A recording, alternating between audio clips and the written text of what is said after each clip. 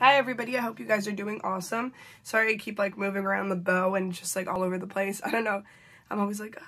But um, I just want to say I hope you guys are having a great week.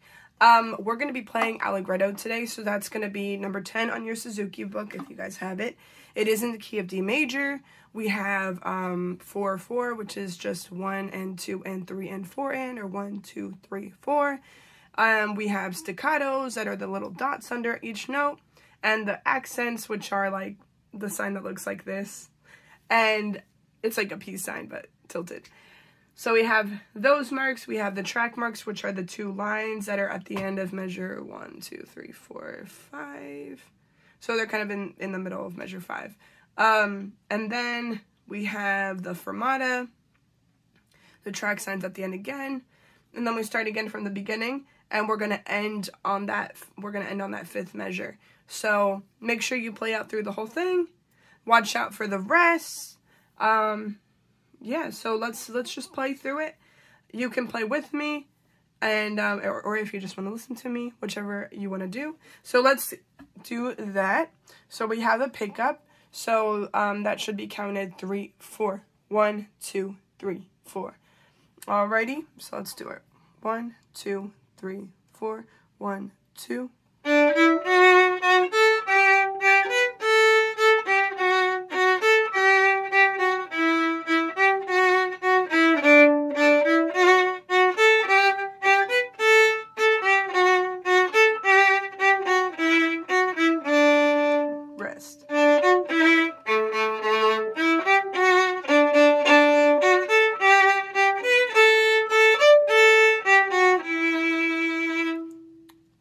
Notes from the beginning and.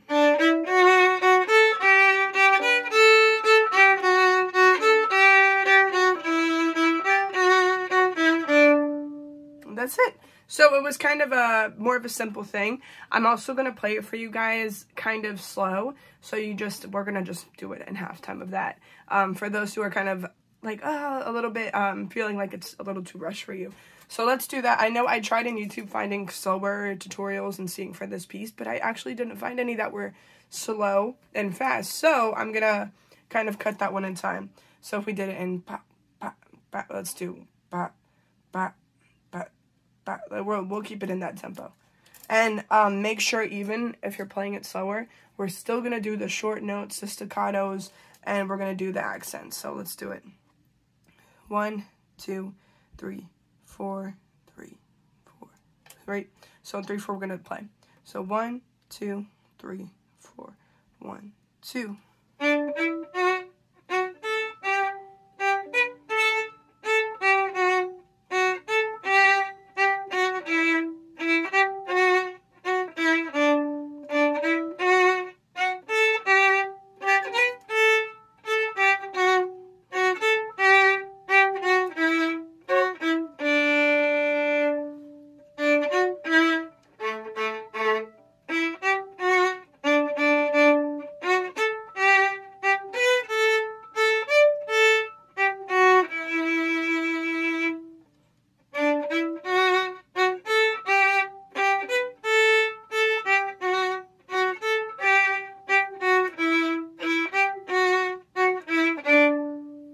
That's it.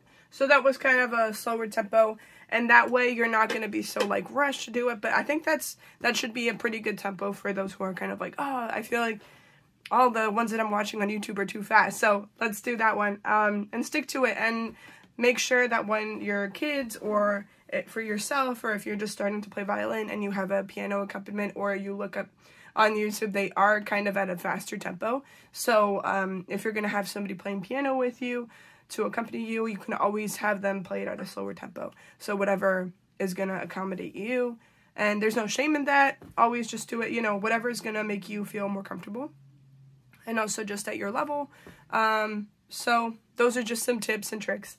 But um, thank you guys for watching and tuning in. So um, if you guys have any questions, you can always email me, ask me. Uh, the link is down below. It's in the description. And I get, I really hope that you guys have a really awesome day and an awesome week. And um, just just keep hanging in there. I know things are really tough right now, but you guys are doing great. So have a really awesome day. Thank you guys so much for watching.